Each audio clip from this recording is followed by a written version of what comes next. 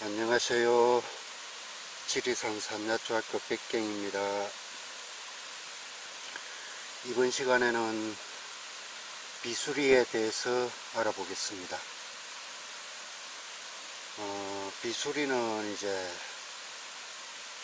상기석 같은데 또는 들가에 어, 그런 데서 주로 자생을 합니다.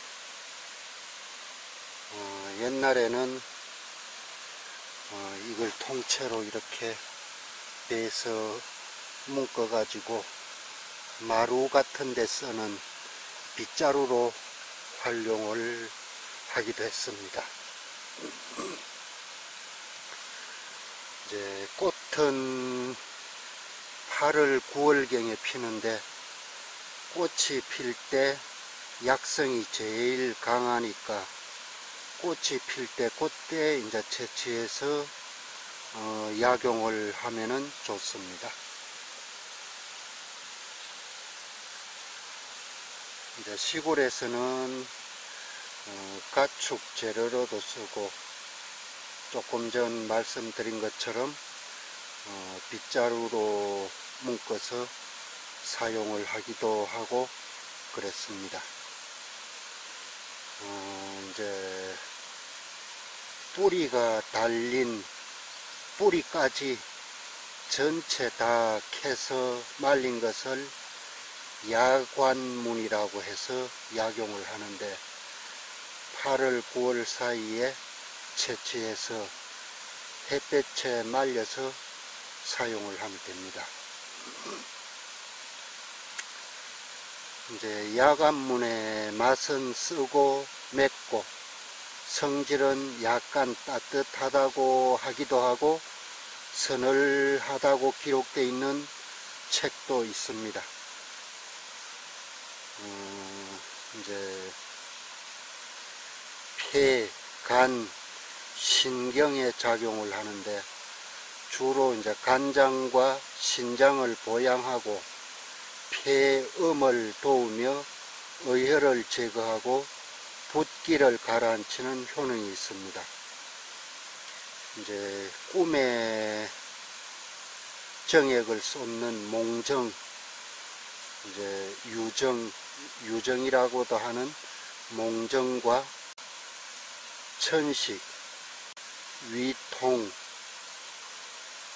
또 설사, 타박상, 시력 감퇴, 급성 유선염 등을 치료하는 효능이 있고 야간문이라는 말은 밤에 빗장을 열어주는 약초라는 어, 뜻이 뜻에서 붙은 양명입니다. 어, 여러 가지 이제 남성 질병에 효과가 있는데 양기 부족이나 조루, 유정, 어미증 등을 치료하는데 뛰어난 효력이 있습니다.